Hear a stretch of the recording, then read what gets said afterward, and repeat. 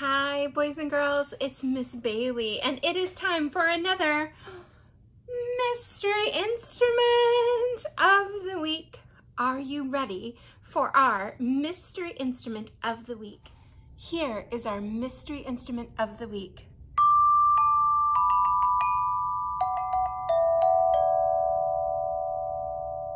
Are you ready for your clues?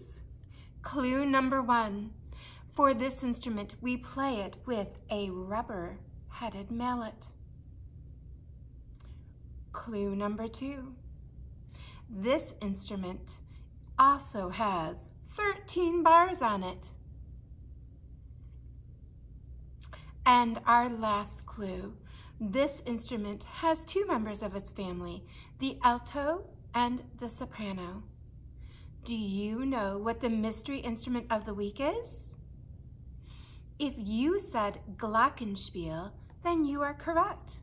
Let me turn the camera around so you can see our Glockenspiels. Here are two Glockenspiels. The first Glockenspiel is the one I played for you, and that is the alto Glockenspiel. The second Glockenspiel is smaller, and that is called the soprano Glockenspiel. And you can hear that there's a difference between the sounds of these two instruments. Smaller box, smaller bars, higher pitch. Bigger box, bigger bars, lower pitch. So when I tap the C bar on my alto glockenspiel, and then I tap the C bar on my soprano, although it's playing the same pitch, one is an octave higher, our smaller instrument.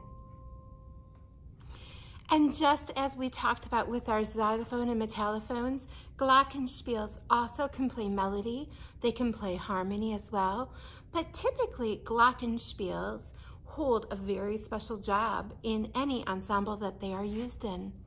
I often liken the glockenspiel to adding the extra frosting on your cake.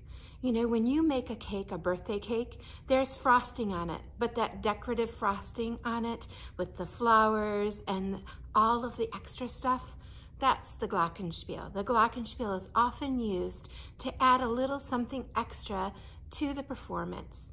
And so our Glockenspiel oftentimes plays little highlights in the piece, not the melody or the harmony. All right, thank you so much for joining me today, musicians. I look forward to seeing you next week. Bye-bye.